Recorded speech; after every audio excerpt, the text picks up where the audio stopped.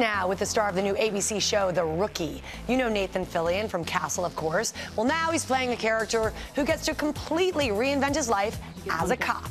ABC's Adrienne Bankert sat down with him and is here right now. Great guy, right? Oh, my goodness. One of the nicest guys, Lara. Good morning to you. Yes, this show has all the action of a police drama with something a lot of us can relate to the do over. What do you do when everything falls apart? We talked to Nathan about playing the oldest rookie at the LAPD, his career, and how hard it was to do some of those stunts. I don't like you, Officer Nolan. It's not personal. I hate what you represent. A walking midlife crisis. The reason why I love the show is because I think there are a lot of people in their late 30s, 40s, 50s who have to reinvent themselves now Yes. that they've arrived here. This is the new norm. This is the do-over. This is this is what is happening now. Well, don't you think 40 is like the new 25?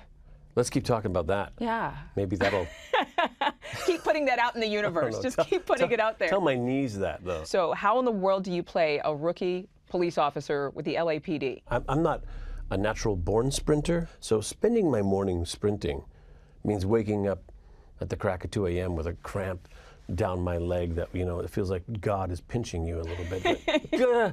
it's it's it's that kind of thing. Sergeant Grey does not appear to be a fan of my presence in this department. Because you're old as hell? Look, I don't give a damn about your age, Officer Nolan. I want to know if you're going to be a speed bump on my path to Chief of Police. No, ma'am. Six months ago, I packed everything I own into a U-Haul and moved here to become a cop. I gotta work twice as fast, three times as hard, so I'm gonna make you look good. Bit of an overshare, huh? I'm told partners are supposed to have a special bond. We're not partners. Obviously, people loved you on Castle. Do you think people are going to have a hard time seeing you as John Nolan and not Castle? They're gonna come for you, Kate. Oh my God, that never once occurred to me. Wait a minute, what? Um, I don't think so. You know what? I don't think anybody's tuning into the show to to see Castle. Officer John Nolan reporting for duty. That memorable voice that we've come to know and love, it is in this character. True enough. Uh, Yeah. But but Castle, he was uh, he, his he, he he lived in a heightened reality. He he was kind of no rules, no nothing. He was he it never and boy, my God, that like he never shut up. John, John Nolan is a, is a man of few words. What do you do to bring that relatability and not just be in the character? Uh, I think I think my my secret is underneath. You know, first you have you know the character. Maybe underneath that is is an actual Nathan going, doing that all the time. This is me. Excitement. Come on. I mean, this is the the lottery job. This is the fantasy. This is what you dream about doing. So you are living the dream. I really am.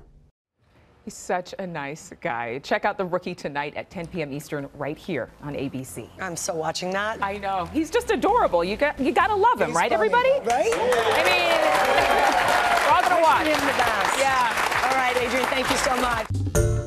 Hey there, GMA fans. Robin Roberts here. Thanks for checking out our YouTube channel. Lots of great stuff here. So go on, click the subscribe button right over right over here to get more of awesome videos and content from GMA every day, anytime. We thank you for watching, and we'll see you in the morning on GMA.